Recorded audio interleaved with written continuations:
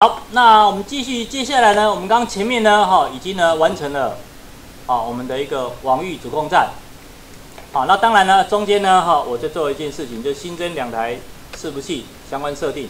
当然，因为我们要模拟，哦，模拟呢我们的两台主机，所以呢，我们就去设定一下什么槽状虚拟化。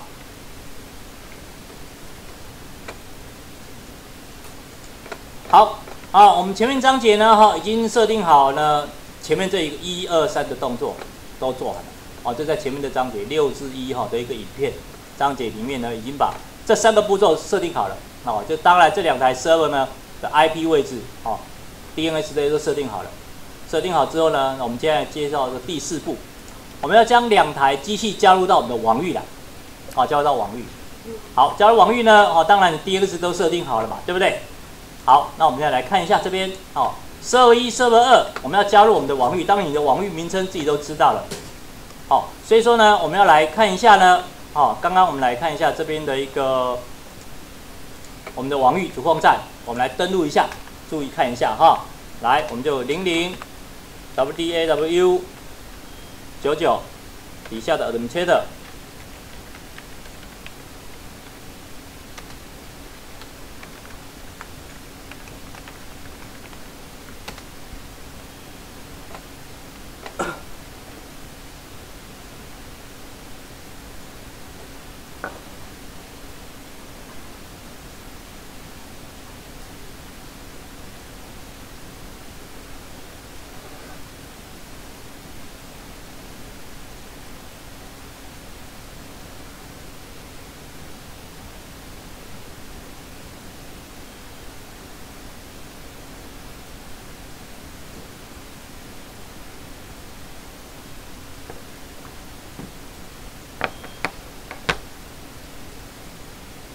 好，这边呢，哈，我们来看一下这边呢，我们来检查一下我们的网域控制站，哎，它的是不是有建立起来？刚刚已经可以登录，表示应该是没有比较没有问题哈。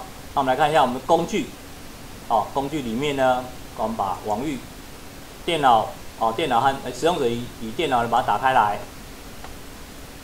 哦，这边呢，当然你在做当中直接做下去可以不用检查，哦，因为你确定没有问题的话。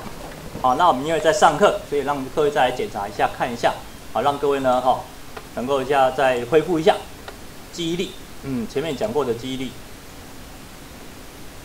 好，这边呢，你可以看一下这里的 computer 里面是没有电脑加入的，对不对？那么网域是不是你的名称？好的，网域网域名称都在这边没有问题。好，我们就可以先缩小，等下再来做一个哦验证。好，那我们现在针对 server 零一呢，我们去点一下哦，本机伺服器。我们要加入到网域工作群组，点一下。好，这里呢按一下变更。好，这里呢就一个网域，我们要输入。那当然呢，等一下没有办法跳出来，就是你的 DNS 的 IP 设定没有设对，知道吧？好，我们来设一下，输入自己的 WDAWU 啊九九 .com .tw。好，这个部分哦，就是呢你的网域。不要输入跟我一样哈，输入你自己的，按下确定。好，马上会跳出这个 IP 的这个哦验证的账号密码出来。好，那我们就把它输入一下，零零 dash wdaw 九九 .com 哎，反斜线底下的 administrator。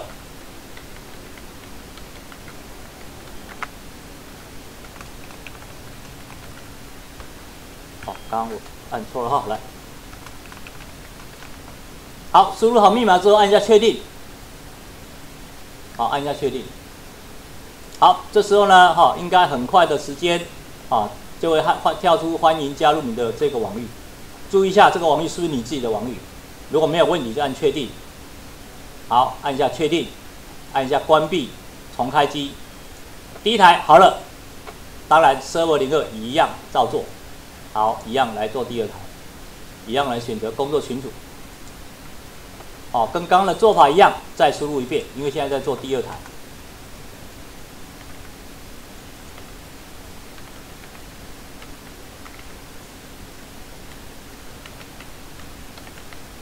好，我按下确定。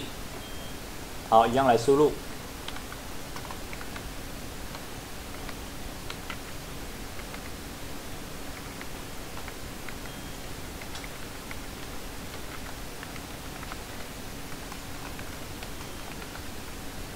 好，按一下确定，一样，好，然后呢，一下时间就会跳欢，好，跳出欢迎加入，确定，确定，关闭，重开机。好，这时候呢，有一个很重要的地方，两台它重开机完之后呢，各位可以看到呢，你这台 Server 零一，它出现的使用者名称这个地方，请不要直接输入使用者名称，一定要输入你的网域名称，知道吧？你要用网域的管理者登录，而不是你的本机管理者。好，所以呢，我们来登录一下零零。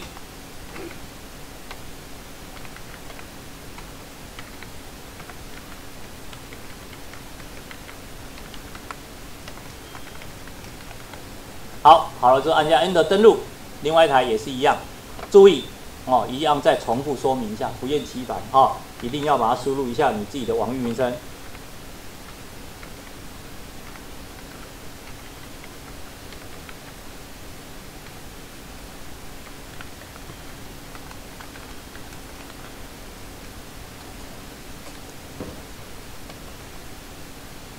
好，两台都登录之后呢，好，你就这样登录进去就可以了。那我们就来看一下呢，好，我们的这台 AD 这个只是验证而已。好，这边的一个电脑名称，啊，computer，这里呢按重新整理就可以看到两部电脑已经跑进来。当然你要再验证什么呢？验证我们的工具里面有一个 DNS。好，你可以看一下呢，我们的这个 DNS 里面呢，你可以看到你的正向，好，你的网域里面是不是多了两台机器？对不对？这你的 server 零一、server 零二都有加起来。好，这边呢，哈，我们的验证部分，我就先缩小，停在这边。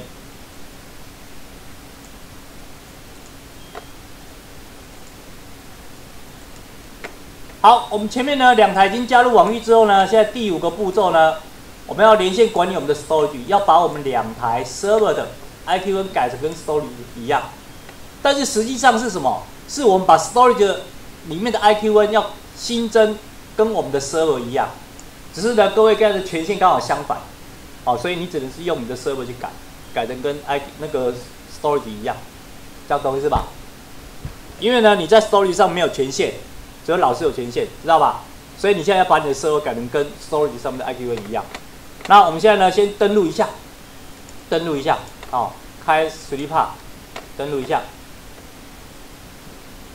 好，IP 还记得吗？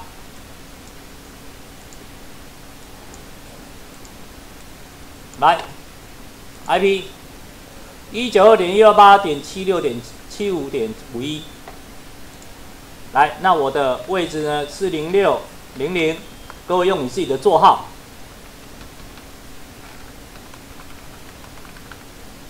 好，来登录一下，这个都是你的名字哦，这是你的，这是你的座号，不要打错了哈，这是名称哦。好，那我们按下 OK 登录。好，你就可以看到呢，你自己的位置，自己的位置。来，刚刚这 IP 是在，我再给各位看一遍，哦，五一。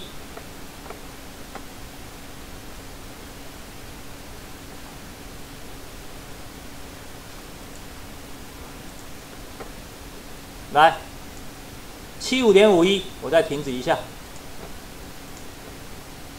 看看这边，这边不要打勾，知道吧？这里不要连到零零哈，连你自己的座号，不是电脑名称，是你的座号，知道吧？这是座号。我们呢登录到我们的 Sleepa 啊，我们的一个 Storage 上面之后来检查一下这个部分呢，我们就不跟各位再解释哈，因为你之前已经有练习过了。好，怎么去新增一个 Valen 的一个磁碟？有没有多大多小？这边对不对？这个地方。那各位呢？这里呢，我们要去做什么？假设我们都已经新增好磁碟，对不对？我们是要去找，各位可以看一下，先找一下 host，点一下这里有个 host，如果这里没有出现，要选这里的选单，知道吧？好，找一个 host，把这个拉高一点，知道吧？拉高，如果你拉低，有没有看到？它是一个 icon，好，icon 看不是很清楚，你就往上拉，好，往上拉，好，有个 host，host 之后呢，找到你的 domain，再往下。看到你的名称，再往下有一个 host，这里面你们看到一个，这里在点这一个位置，有一个 host，这边呢有一个你的电脑名称，你输入的名字，点它，你的位置的地方就底下有一个位置，你的 IQN。好，这一个就是一，这个就是二，知道吧？好，这边呢你看到之后呢，我们要怎么办？对不对？我们就要开启我们的 Server 一。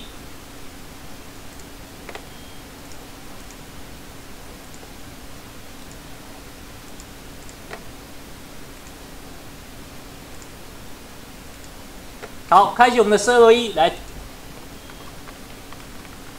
好，登录一下。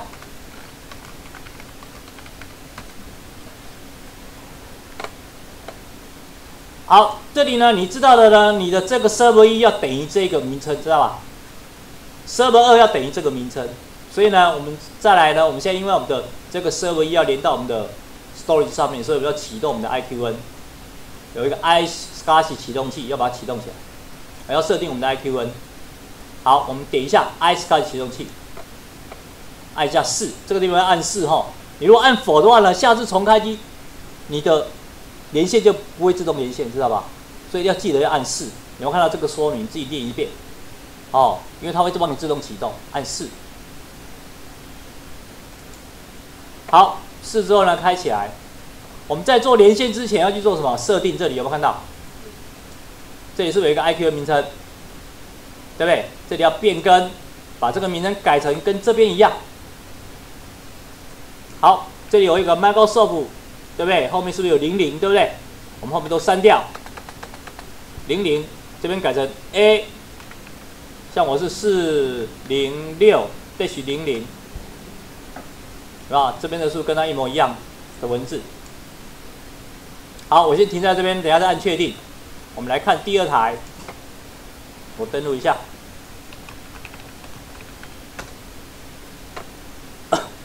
好，第二台呢，我一样启动 iSCSI 启动器，一样来设定。这里有个变更，一样，这里有没有？我把它移到下来一点给各位看喽哈。来，这里是不是第二台？我是不是到这个地方冒号？记得哦，你冒号冒号有时候你会忘记哈，就把它删掉了。零零中间还有个冒号，再到 T，知道吧？好，所以呢，把后面的删掉。A 四零六，dash 零零 dash 二都要一模一样的字，减号什么都要一模一样。好，这两边都设定好，就按下确定，你才能够连到你的 storage 的空间。好，我先停在这边等候各位一下。好，这边呢，刚刚我们讲过都设定好，跟我们的 storage 的位置的 IQN 一样的之后呢，好，按一下确定。第二台也要按一下确定，对不对？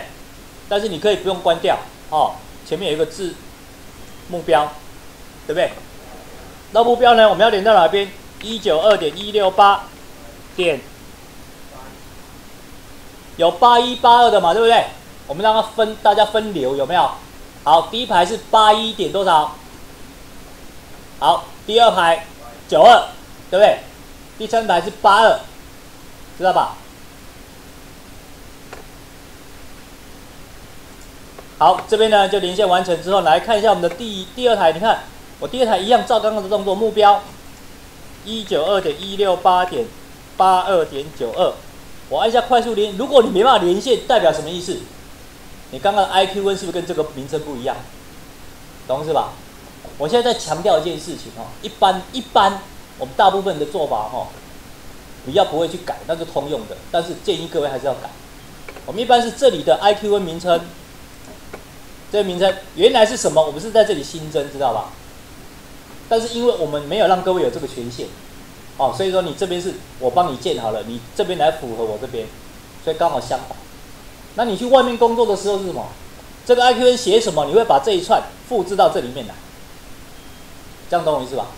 哦，会这样子做的。好，好，这边好了之后，后面基本上呢，你如果熟悉，这边后面都不用动它，知道吧？都不用理它，哦，就按下确定，这样就好了。好，这边也是按下确定，这样就好了。然后呢，做什么事情？哦，回到我的前面来这边，做什么事？是不是要去做什么？工具，电脑管理里面去看一下磁碟管理，你的里面的磁碟有没有跑进来？有没有？是不是在这里？一二三，另外一台也是一样。工具，电脑管理里面的磁碟管理，去看看有没有跑进来。我们先不要连线，对不对？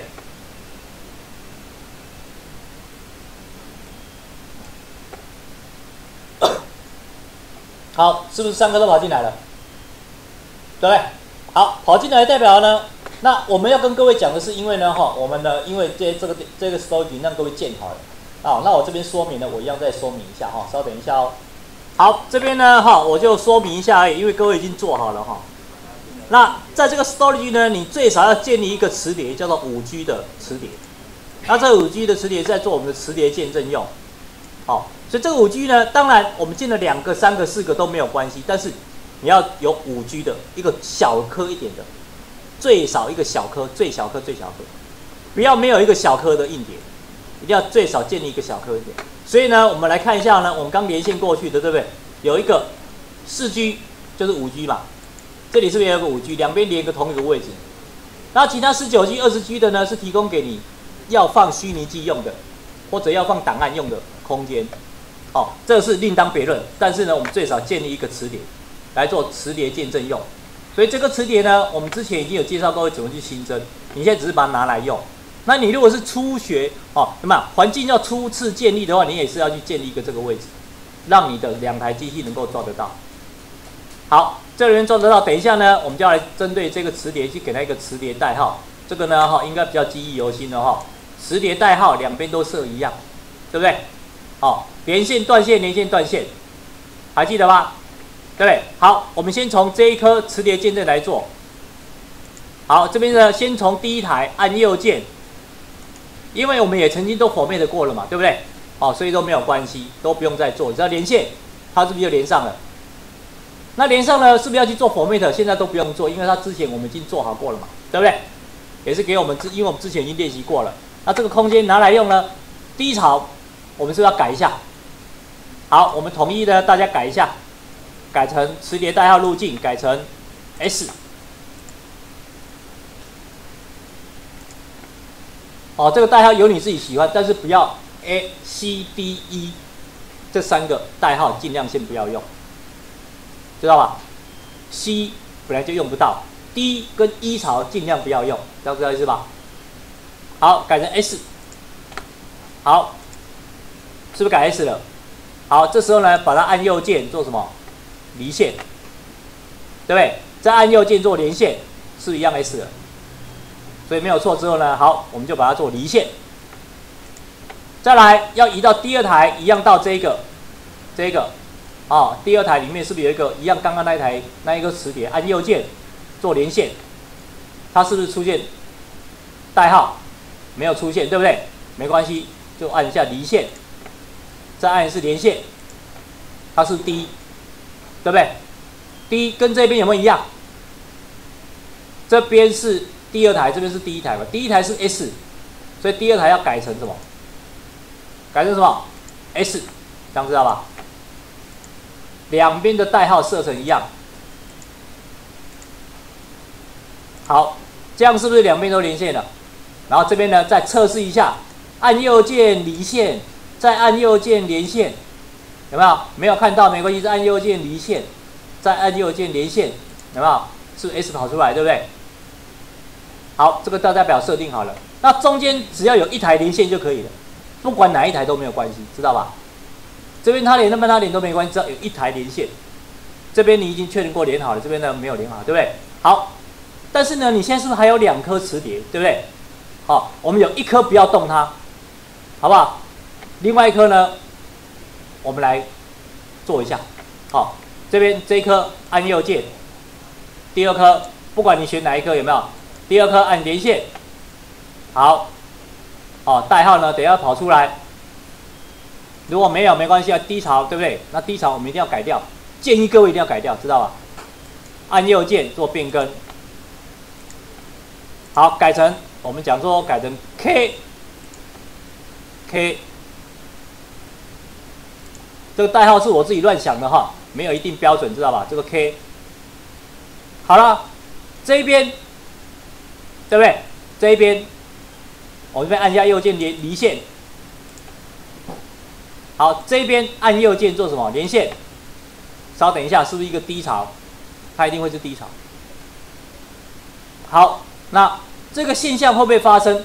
等一下后面的时候我们要各位来做。所以这边呢，我不改代号，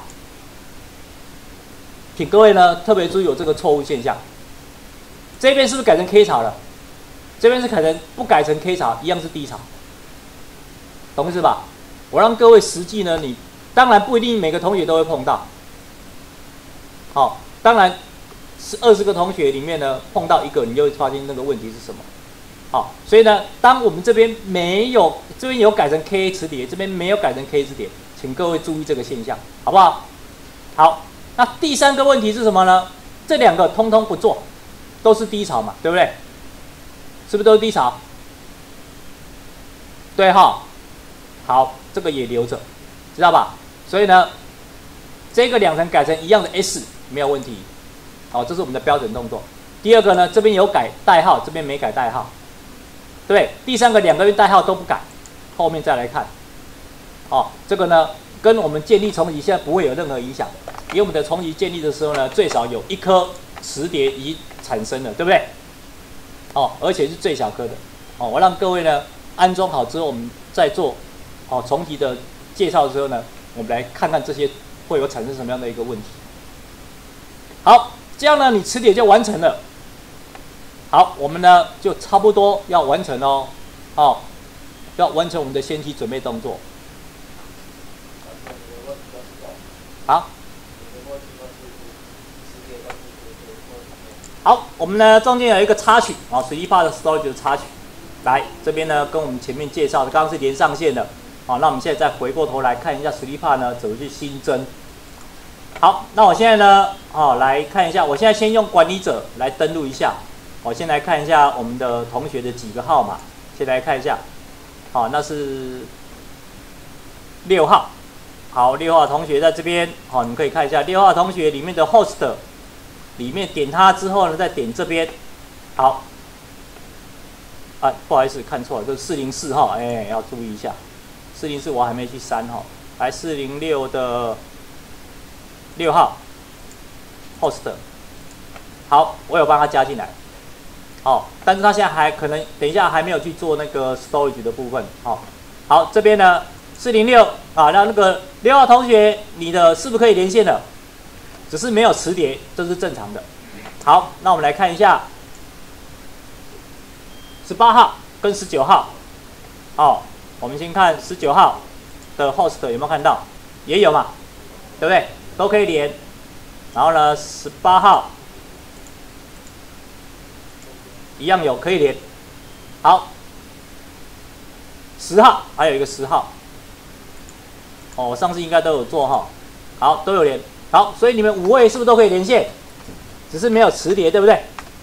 好，那我们现在呢，你就点到你自己的名称底下。好，我们来看一下，这里有一个好 provision 这边，点这边，点。好，我现在呢用一个同学的位置来做练来做说明哦，我用十七号，对不对？好，十七号现在没有人，我现在是不是连到十七号这一台？好，连到十七号这一台，所以你们现在呢，看到这一个选项有没有？点这个选项。好，点这一个名称是你的，然后底下一个 CPG，啊，这是你的 CPG 空间，有没有？哦，目前是没有在用的。好，所以你可以看到你的 CVG。好，CVG 是呢，我给你一个多大容量，就是你的这一个磁碟多大容量，我可以去限制你。我给你这个名称的账号，在这个 store 里面，针对你这一个 A 四零六十七这台电脑，我给你的一个六十五 G 的容量，你永远超不过六十五 G，除非我再开放给你，因为我是管理者，这样子啊？好，那管理者是我，我才可以看到全部的，那你们只看到你自己的。好，那这边呢，你只有六十五 G，所以我们六十五 G 在我们上课够用了。好，好，再来呢，你要新增一个虚拟。磁碟哦，来，就这有一个，点一下这里有一个 virtual 啊 valence，这边点一下这里。好，这一个 summary 是摘要，再点一下 virtual valence 里面是空的，有没有看到空的？好，是正常的。好，那我们就呢，这里呢，再移到我们的这个 virtual balance，按右键，有一个 create，啊，要新增。好，新增呢就会跳出这个 create，哦，virtual balance。好，按一下第一个画面，啊，这是一个它的说明哈。好，按一下下一步。好，再来这里呢，好，我们呢这里的动作你要注意一下，这个名称。好，来我看一下呢，我们的规则是什么？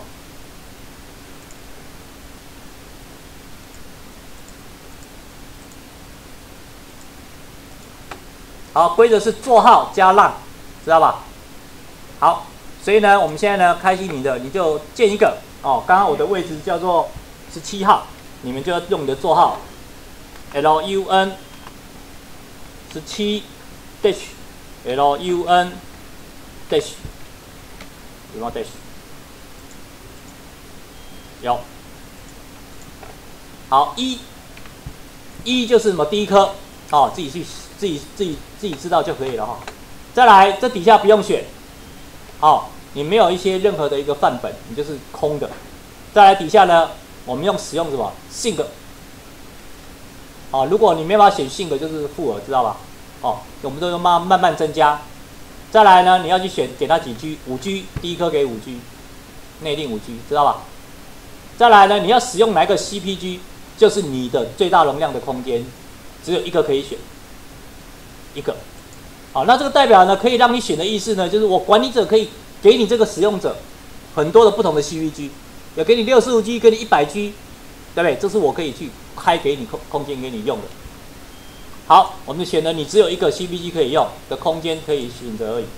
好，再来底下呢，Warning 这些都不用设定，Copy 也不用设，因为 Copy 它会帮你复制备份，这个你都不要做。好，因为我们并不是给你真正工作的，哦，是在让练习的。好，底下这里呢你要只要新增一颗，所以你只做了三个动作：一，这里应该想四个；二，这里吧，三、四，知道吧？那这里呢，内定只是一颗，所以你也不用理它。好，样呢一、二、三、四之后呢，按下下一步。好，让你看一下你要建的是什么东西，建多少、多大容量空间。好了，按 Finish，这里就出现了你那一颗。好了，那一刻呢，你的你的电脑还是抓不到，因为呢，你要把它 Export 汇出要给哪一台电脑用。哦，现在是给你的这一个名称。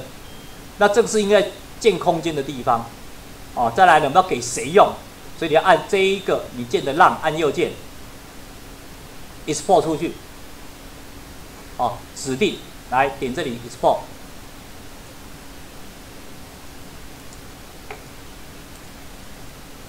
好，export 之后呢，来按下下一步，好，这里是不是有你刚刚那个浪？你建的名称，你要给哪一部电脑？是不是这个电脑名称？就点它，再来这里呢，它会帮你从零一二三帮你顺序，你也可以自己调，但是你调的时候，有时候你会调不知道位置，会重复到，哦，所以我们建议呢，一般来讲，很多的机器是没有办法让你用自动的，都是手动的，所以你自己要去记住，不行就是说重新再换一个，哦，有时候记录。那这一台呢，它有让你说自动的，那所以我们就不要去做手动的，就把 Auto 打勾，按一下下一步。好，位置没有问题，按下 Finish，按下四。好，这里就看到了，它 Export 给谁？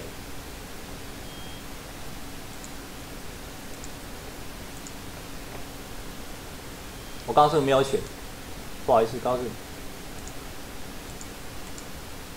啊，有有有哈，好，比较慢出来。好，这一边是不是你会变蓝色的？因为你刚刚已经连线了嘛。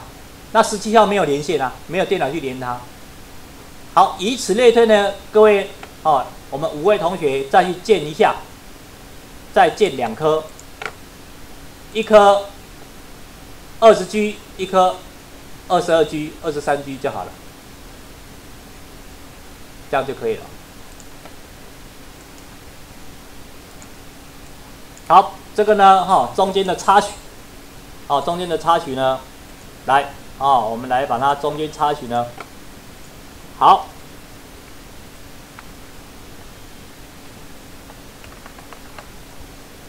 好，结束。哦，结束一下。